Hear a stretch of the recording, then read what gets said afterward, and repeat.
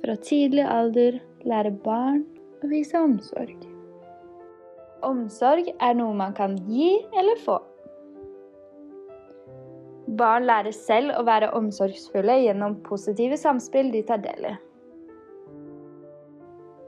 Lek er en positiv aktivitet som typisk blir ledsaget av glede og andre positive følelser. Gjennom leken tilegner barn seg viktig kulturell kunnskap og lærer seg å samhandle med andre. Leken avspeiler barnets fantasi, men også barnets grunnleggende metaforiske tenkning. Lek vil derfor aldri være en tro kopi av virkeligheten, den er en fortolkning.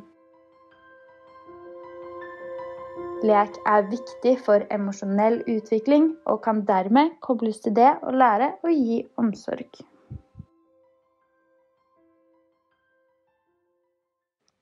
Kosehesten er en interaktiv hest. Interaksjonen med kosehesten skjer ved at bruker må samhandle med den via berøringssansen eller via forflytning av objekter. Når hesten er varm, lyser det rosa, og når den er kald, lyser det blått. Et dekkin er et formsydd teppe som holder hesten varm. Kosehesten har et dekkin med integrert RFID-tag. Når dekkene tas av, går det litt tid før lyset skifter farge til blått. Hvor lang tid det tar, vil variere, slik at leken ikke blir forutsigbar. Den vrinsker når den blir kost med. Den er myk og inviterer til kos. Den kan stelles og kles på. Hesten har hjul og kan tas med på trilletur. Kosehesten er laget etter formkonsept hest. Kosehesten har ekstra lang man som innbyr til kos og stell. Den har hvite, fluffy flekker.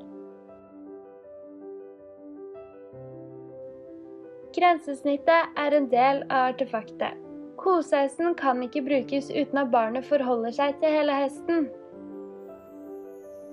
Sensorene lytter etter signaler. Kosehesten blir på denne måten tilpasset det som skjer i leken. Kosehesten gir barn mulighet til å vise omsorg, og man kan leke sammen eller alene med den.